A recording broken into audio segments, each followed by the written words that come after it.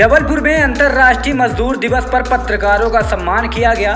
जबलपुर के barrage road Samdariya hotel में अंतर्राष्ट्रीय मजदूर दिवस के अवसर पर आंचलिक श्रमजीवी पत्रकार संगठन की ओर से पत्रकार सम्मान समारोह का आयोजन किया गया, जहाँ बड़ी तादाद में पत्रकार बंधु एकत्रित हुए एवं पुलिस कप्तान श्री सिद्धार्थ बहुगोड़ एवं collector doctor Ilaiya Raja T, labour commissioner एवं विभिन्न अधिकारी उपस्थित रहे।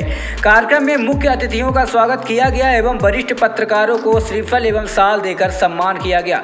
पुलिस अधीक्षक ने पत्रकारों के कार्यों की सराहना की और उन्होंने कहा कि जैसे कोरोना काल में पुलिस अपनी ड्यूटी कर रही थी उसी तरह पत्रकार बंधु भी अपनी जान की परवाह किए बगैर अपनी ड्यूटी ईमानदारी से निभा रहे थे।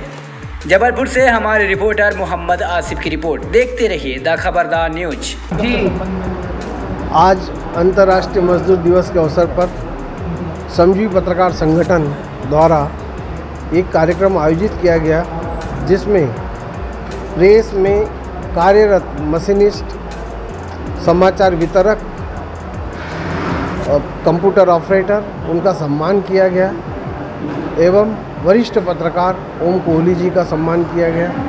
इसमें सभी समस्त साथी थे, लेबर कमिश्नर, कर्मचारी भविष्य निधि आयुक्त, कलेक्टर, पुलिस अधीक्षक अन्य अधिकारी वर्ग स्थानीय प्रशासन के उपलब्ध थे। समस्त पत्रकार साथी जबलपुर शहर के बाहर के भी उन्होंने भी सहभागिता इस कार्यक्रम में की। हो गया। इस कार्यक्रम में कुछ कैसे कार्यक्रम के बारे में?